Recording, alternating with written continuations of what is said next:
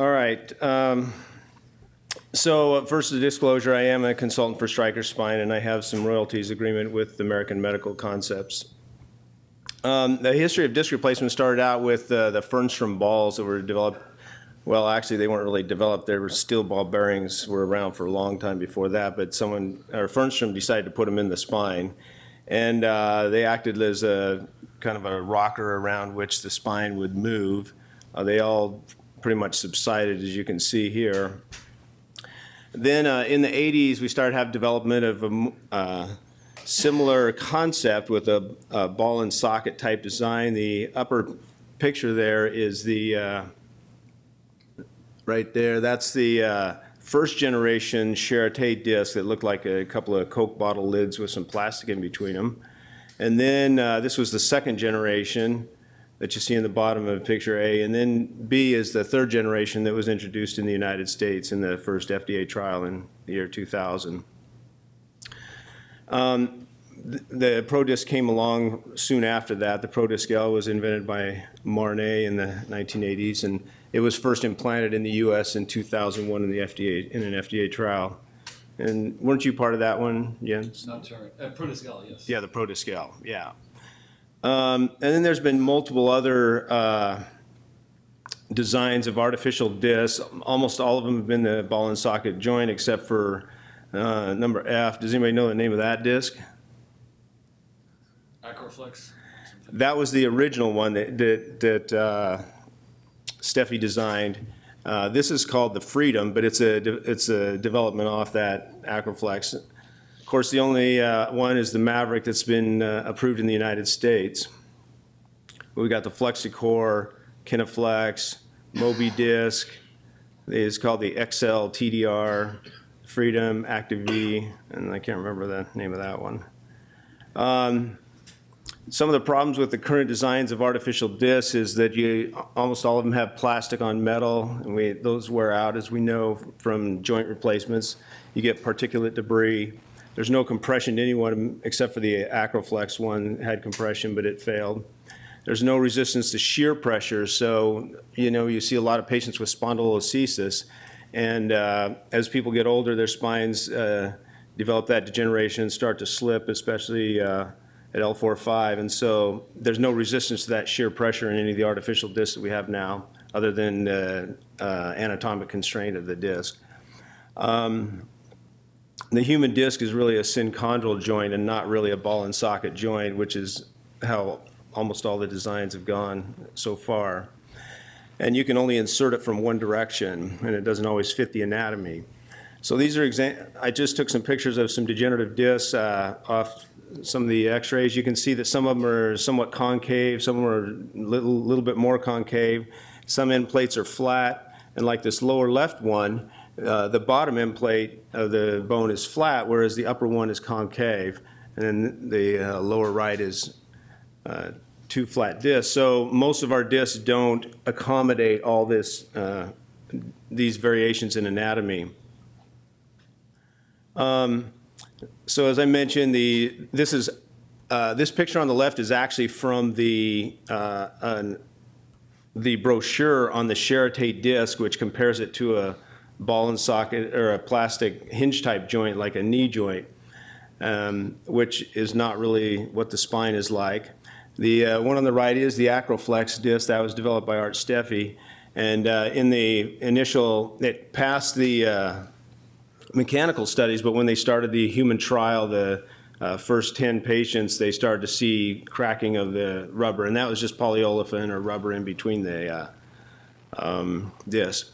So with the problems with the current design, uh, a number of years ago, I was trying to figure out a way to make a disc that was more like a human disc.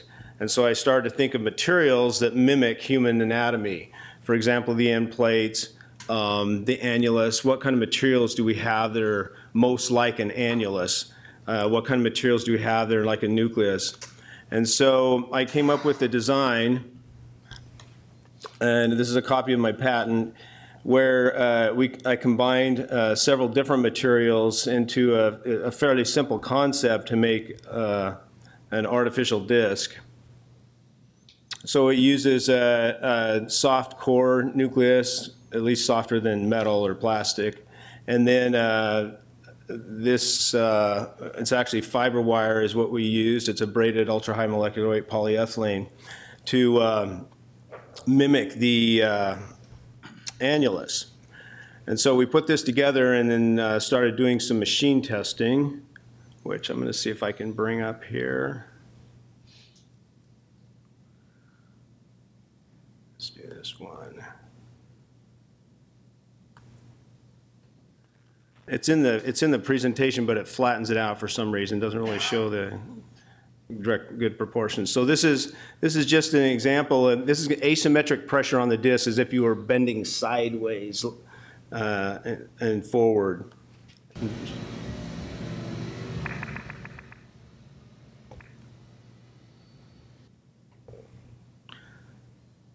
One more time.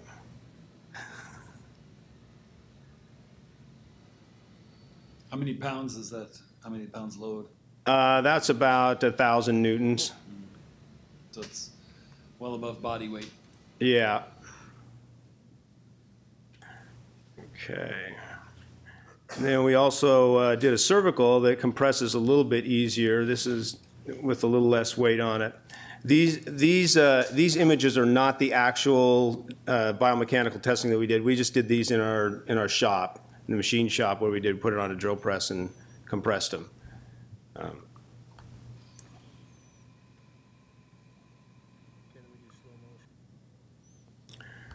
so it makes it compressible.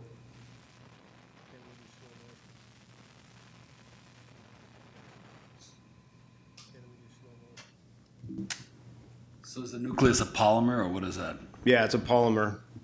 Uh, it's a it, the material we have is made by a company down in California, Advanced Polymers, and it's a it's actually a combination of uh, polycarbonate and silicone. Okay, so let's get back to the. All right, so. Um, the uh, image, the cartoon on the left is a uh, is a image from the Journal of Medical Journal of Mechanical Behavior of Biomedical Materials, and uh, that's showing the human intervertebral disc behavior at, as tested on a real disc. The image on the right is the our first uh, test with the uh, artificial disc in the lumbar spine, showing the almost the exact same curve and we went up to 9,000 pounds to try to get a load to failure, and we couldn't get it to fail. Um, so it seemed to hold up pretty well in biomechanical testing. So uh, now, these are, I'm going to talk a little bit about some of the barriers to developing an artificial disc, okay? Uh, the first barrier is the cost, of course, uh, and I'll go over some of these things. It has limited application and the return on investment is low for the big venture capitalists. So, um, just an example of how much it costs to develop an artificial disc. It costs anywhere from 60 to 100,000 to get a patent. The design and prototype may take any. It took us between 60 and 100,000 to get a prototype developed.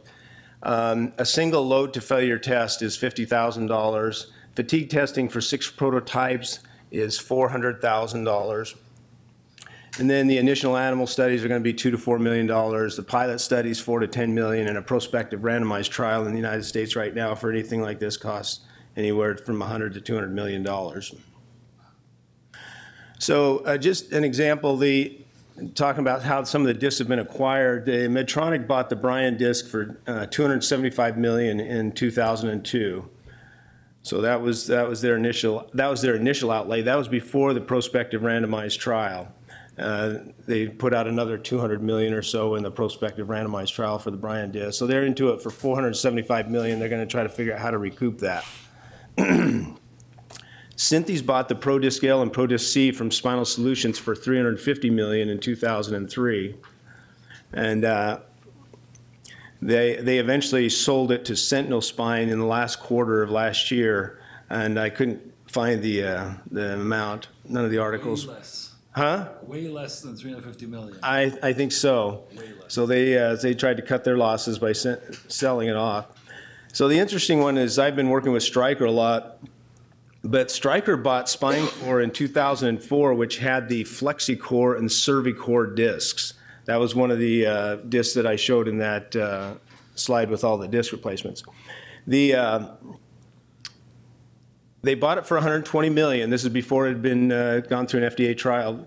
They started the FDA trial in the United States, and after several months of starting the FDA trial, they stopped it and ate the cost. They were going to pay 240 million in milestone payments to SpineCore if it de- continued to develop, but uh, they ended up stopping it and scrapping it, the project completely. The Flex, core just sits on the shelf at uh, Stryker, and they just have that. And uh, many of you know Zimmer Biomet bought the Mobi C. If any of you do the cervical Mobi C, which I've done, uh, they bought that for 1.2 billion in July of 2016, just so they could have an artificial disc in their armamentarium. So these are some big costs for these companies. There's also limited applications. Um, the uh, you need really need to have normal facets if you're going to do a disc arthroplasty. You can't do it in advanced degenerative discs. Uh, you can't do it if there's any instability. Uh, if there's uh, lumbar spinal stenosis, you want that to be very minimal be, before doing any artificial disc replacement. For example, some foraminal stenosis. Um, you would want that to still be minimal if you're going to do a disc arthroplasty. The uh, the current designs, unfortunately, we still have ball and socket joints. In uh, the Mobi C, there's only been 40,000 Mobi C disc replacements in the past 11 years. So it's been it's increased a lot in the last couple of years or three years, but there's still, if you think about the uh, amount that these companies have invested, 1.2 billion for uh, Zimmer Biomet, and there's only been 11,000 of these in the last uh, 11 years. Um, lumbar disc replacements are even more rare. Most of the insurance, or some of the insurance companies, such as Medicare, Medicaid, Regence in our area, they don't cover uh, disc replacements. Uh, and then revision surgery in the lumbar spine for a disc replacement is a life-threatening procedure. So in sum, summary, uh, we're still in the beginning stages of uh, total disc replacement. Uh, there's limited use and insurance pr- approvals. Uh, the disc I'm working on is currently a fifth generation, and the cost is a huge barrier to development of the artificial discs. Thank you.